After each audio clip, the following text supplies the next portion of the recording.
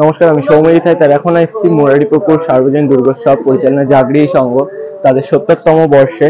এতদিন কিন্তু পুজো পরিক্রমা আমি যা দেখিয়েছি, সবই কিন্তু থিমের ওপর বেস করে। আর এটা হচ্ছে একটা সার্বজনীন পুজো যেমনটা ঠিক মানে পাড়ায় পাড়ায় অ্যাকচুয়ালি সার্বজনীন বলতে যেটা বোঝায়।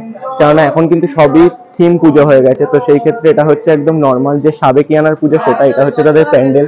রাতে কিন্তু এই প্যান্ডেলে অনেক ধরনের আলো সজ্জা আছে। তো সেটা কিন্তু দেখতে হলে অবশ্যই রাস্তায় আসতে হবে। তো এই হচ্ছে ওদের প্যান্ডেল। দেখতে পাচ্ছেন ওপর থেকে একদম।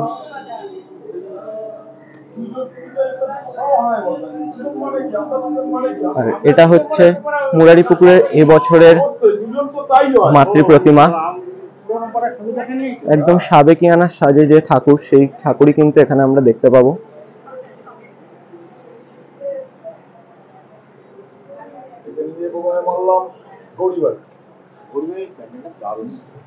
পেট্রোলটা নাকি ভালো করে। হ্যাঁ, একই একই প্যাটার্ন ঠাকুরটা একই প্যাটার্ন বাঁকুড়া জেলা সব হাতের কাজ। ওখান দিয়ে বেরিয়ে কোথায় যাব কোথায় যাব সাবেকিয়ানা সাজে কিন্তু ফুটিয়ে তোলা হয়েছে দেখতে পাচ্ছেন। এখন চলো লালা বাগান। লালা বাগানে তিন চারটে পুজো আছে ভালো ভালো। লালাবাগান তো পুরস্কার লালা আর এই হচ্ছে মায়ের মুখটা কিন্তু খুবই সুন্দর।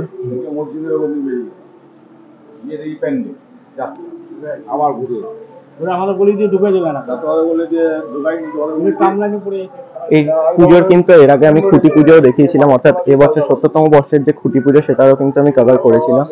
তো অবশ্যই এই সুন্দর সাবেকিয়ানার সাজে সজ্জিত প্যান্ডেল দেখতে হলে, সাথে আলোকসজ্জা দেখতে হলে আপনাদের কিন্তু সন্ধ্যাবেলা অবশ্যই আসতে হবে মুরারিপুকুর সার্বজনীন দুর্গোৎসব পুজো কমিটিতে যা আয়োজন করছে জাগৃহী সংঘ তাদের সত্তরতম বর্ষ